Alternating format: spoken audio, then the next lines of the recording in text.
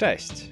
Dziś w Math Logic mam dla Was zagadkę, z którą się spotkałem kilkanaście lat temu, oglądając jeden z moich ulubionych seriali, Colombo. O niby nieogarniętym detektywie, który jest w stanie rozwiązać najbardziej złożone sprawy kryminalne. W odcinku Test na inteligencję jeden z członków stowarzyszenia podobnego do Mensy zadaje zagadkę logiczną naszemu porucznikowi. A oto i ona w nieco zmodyfikowanej wersji. Mamy przed sobą 10 worków pełnych monet. Niestety tylko jedna zawiera same prawdziwe złote monety, w pozostałych workach są tylko podróby. Wiemy jednak, że każda fałszywa moneta waży 10 gramów, natomiast złota moneta waży 11 gramów. Do dyspozycji mamy wagę wrzutową, podobną do tych na lotniskach. To znaczy stawiamy coś na wadze, wrzucamy żeton i na ekranie wyświetla nam się wynik. Do wagi mamy tylko jeden żeton, więc możemy dokonać tylko jednego ważenia. Nieważne jak będziemy kombinować z układaniem monet na wadze, dostaniemy tylko jeden wynik w momencie wrzucenia żetonu. W jaki sposób, mając tylko jedno ważenie, ustalić gdzie są złote monety? Za chwilę podam Wam podpowiedź, zanim przejdziemy do rozwiązania. Gotowi na małą podpowiedź?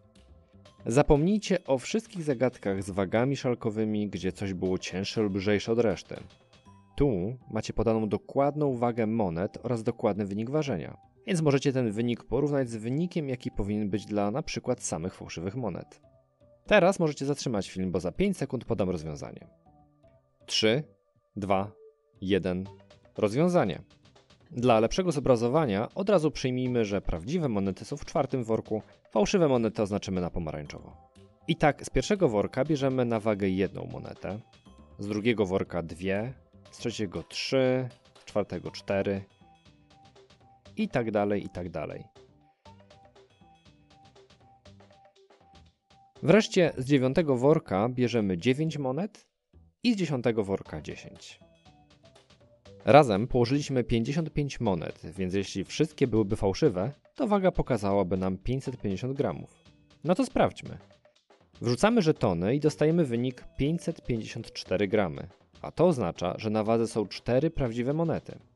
Każda prawdziwa moneta zwiększa wynik o 1 gram. Zatem złote monety są w tym worku, z którego wzięliśmy 4 monety, czyli z worka czwartego. Wynik na wadze zawsze pokaże nam, ile jest prawdziwych monet, dlatego sednem rozwiązania jest wzięcie z każdego worka innej liczby monet. My dla wygody braliśmy z każdego kolejnego worka o jedną monetę więcej. Natomiast pułapką myślenia byłoby wciskanie tutaj schematów z częściej spotykanych zagadek z wagami szalkowymi, które w ogóle by nie pomogły w rozwiązaniu. Stąd taka podpowiedź. A, i jeszcze jedna sprawa. Może zwróciliście uwagę, że nie udałoby się tego rozwiązać, gdyby w każdym z worków były tylko po dwie czy trzy monety. Zatem mam dla Was bonusowe pytanie. Najmniej po ile monet musiałoby być w każdym z 15 worków, aby dało się zastosować to rozwiązanie? Podajcie odpowiedź z uzasadnieniem w komentarzach pod filmem. Jeśli spodobała się Wam ta zagadka, to zachęcam Was do sprawdzenia innych moich filmów z zagadkami i z szybkim liczeniem w pamięci oraz do subskrypcji kanału. Dzięki za oglądanie.